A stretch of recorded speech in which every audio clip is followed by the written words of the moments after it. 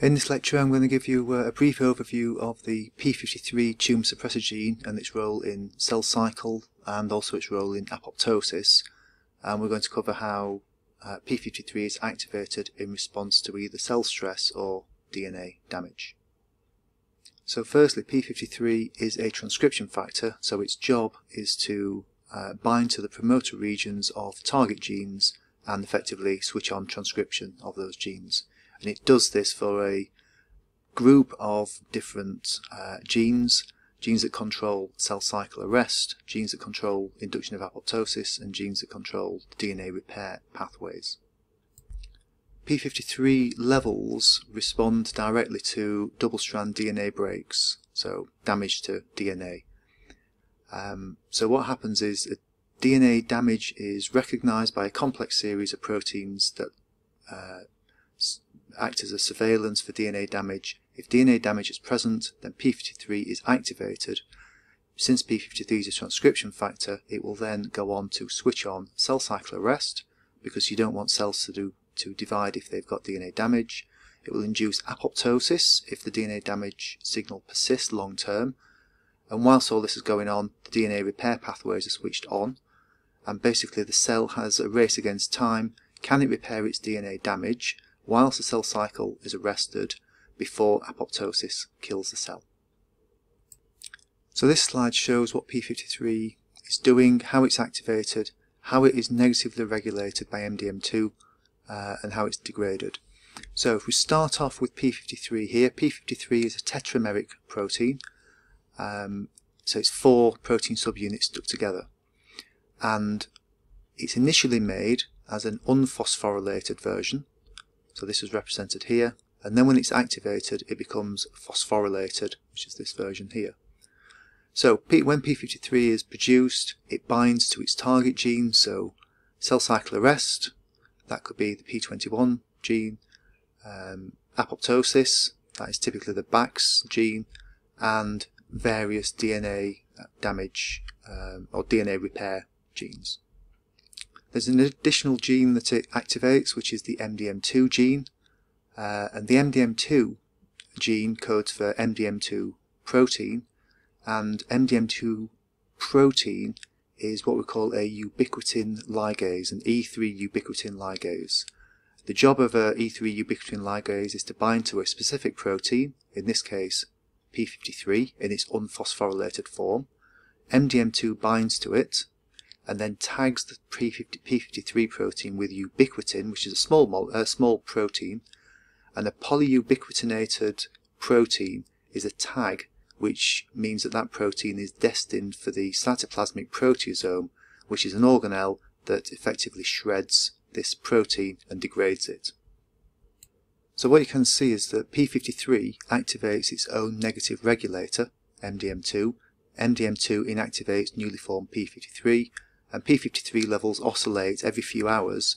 So a bit of p53 is produced produces a bit of MDM2 which gets rid of that p53 so p53 is present in a surveillance mode uh, waiting for a signal which is DNA damage and then it can become more stabilized.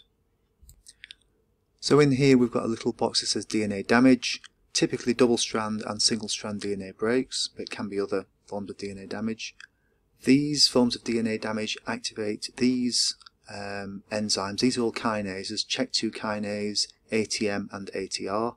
ATM ataxia telangiectasia mutated, ATR is ATM related. So these phosphorylate P53. Now, if you notice, P53 here is unphosphorylated, here it's phosphorylated. Whenever it's unphosphorylated, MDM2 can degrade it. When it's phosphorylated, that is when DNA damage occurs, MDM2 can no longer bind to it because this phosphorylation is blocking the MDM2 binding. So if P53 is unphosphorylated, MDM2 can get rid of it. If P53 is phosphorylated, MDM2 cannot get rid of it, and therefore P53 is stabilized with an increased half-life. This causes increased expression of the P53 response genes, P21 BAX, and the DNA repair enzymes. Also, that causes further increase of MDM2. However, MDM2 can't um, inactivate uh, P53 if P53 is phosphorylated. As a further block on this negative feedback loop, the CHEK2, ATM and ATR group of enzymes can phosphorylate MDM2 on the region that binds to P53, so this inactivated form of MDM2 cannot bind unphosphorylated P53. So then we have to think what happens when DNA damage signals recede, as in the DNA damage is being repaired. In that situation, CHEK2, ATM and ATR are now inactive, all newly produced P53 is unphosphorylated, any residual phosphorylated P53 can still induce MDM2, that newly produced MDM2 is unphosphorylated at this point here. Um, now, confusingly, MDM2 can re receive an activating mutation, uh, not an activating mutation, an activating phosphorylation here, but that's caused by uh, proliferative growth factor signaling, so just ignore that for now. But anyway, unphosphorylated MDM2 at this point here can now bind unphosphorylated P53 which is now being made and then all of that newly produced P53 can be degraded by the cytoplasmic proteasome. That means that the phosphorylated P53 can still be hanging around however over time the levels of this will decrease so the net effect of repairing DNA damage is eventually P53 levels will return to normal. Therefore, P21 levels will return to normal, Bax levels will start to decrease, and the cell won't undergo apoptosis, and the DNA repair enzymes and proteins are no longer overexpressed. So if we look at what Bax is actually doing when Bax is overexpressed by P53, uh, Bax is a key mediator of the intrinsic mitochondrial apoptotic pathway. On the mitochondrial membrane there's a protein called BCL2. BCL2 binds to Bax. Now when Bax levels exceed BCL2 levels, Bax will oligomerize, that is lots of proteins stick together and form channels in the outer membrane of the mitochondria. These channels allow the contents of the intermembrane space to be released and that includes cytochrome C and procaspase 9. When procaspase 9 and cytochrome C are released from this intermembrane space into the cytosol, they will connect up with another protein called APAF1 and that will result in active procaspase 9 and then procaspase 9 will initiate caspase mediated cell death. Now, P53 also induces uh, P21 expression and P21 is a cyclin-dependent kinase inhibitory protein. So cyclin-dependent kinases bind to cyclins. Um, if we look at the G1S boundary, this will be cyclin E and this will be CDK2.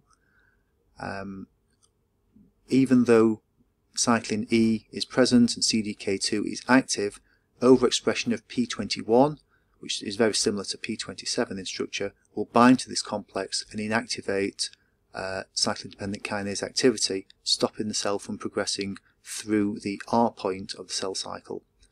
Now this can also happen with cyclin A CDK um, complexes as well, so that can stop the cell cycle within S phase.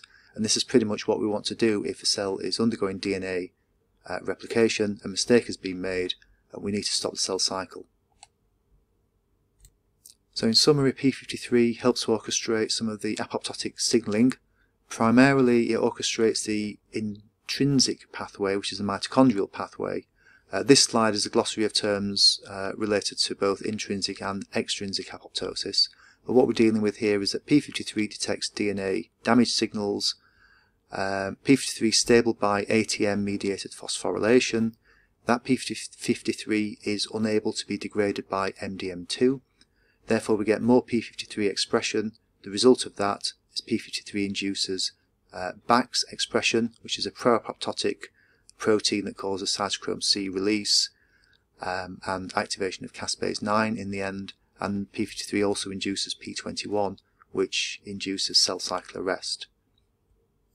So what you now need to think about is what happens if a cell loses the ability to produce P53. And this occurs in many cancer cells. So cancer cells will become mutant for P53 and this DNA damage recognition pathway no longer functions correctly. Now p53 is not the only thing that becomes mutated in cancer. Uh, so if we imagine we can take out the p53 gene, we lose all of this uh, cycle. We don't get the p53 response genes expressed. Alternatively, in uh, cancer cells, you sometimes lose the ATM and ATR or CHEK2 genes, so that no longer activates uh, p53 in the presence of DNA damage. Alternatively, some cancer cells overexpress MDM2, so that as soon as p53 is produced, it's immediately degraded by the proteasome, and that results in a cell which is p53 deficient.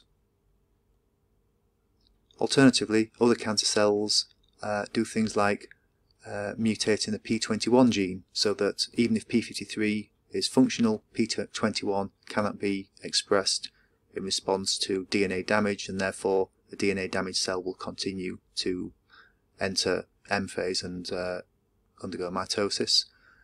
And then other tumours might inactivate BAX production, so that even if p53 is proficient, if BAX is inactive, the uh, cell can no longer uh, undergo normal apoptosis. So what you can see is that p53 is central to both cell cycle regulation and apoptosis regulation. It regulates apoptosis in normal cells and there are numerous ways in which the p53 pathway and its associated proteins can become defective in disease situations, typically cancer.